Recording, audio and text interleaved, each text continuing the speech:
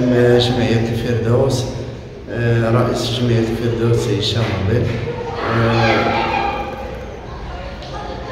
نظمت جمعية الفردوس يوم الأحد 13 مارس 13 مارس آه، 2022 آه، حملة تضامنية إلى جبل الأطلس الكبير بقيادة بقيادة آه، بقيادة فين قلت جماعة توبة دوار تشكجي في نسختها في في نسختها السادسة حيث كان البرنامج اليوم الأحد كالتالي في الفترة الصباحية.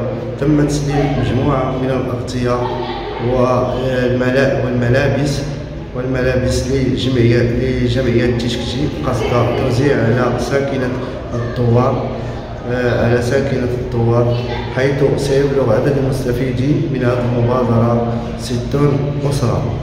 أما بالنسبة للفترة المسائية فكانت فكانت أنشطة للأطفال مع مسابقات وتوزيع جوائز من تنشيط البهلوان. وبهذه المناسبة التي ألقت نجاحا كبيرا وإدخال فرحة على جميع ساكنة الثوار صغيرا وكبيرا نشكر جزيل الشكر لكل من المحسنين الذين ساهموا ماديا أو معنويا. ونشكر ونشكر كذلك تعاونية كوباك التي ساهمت معنا في منتوجاتها. ونشكر جميع أعضاء جمعية الفردوس وجمعية تشكتي على ما قدموه وما ضحوا به من أجل إنجاح هذه المبادرة. وإنجاح هذه المبادرة التضامنية الخيرية. وشكرا.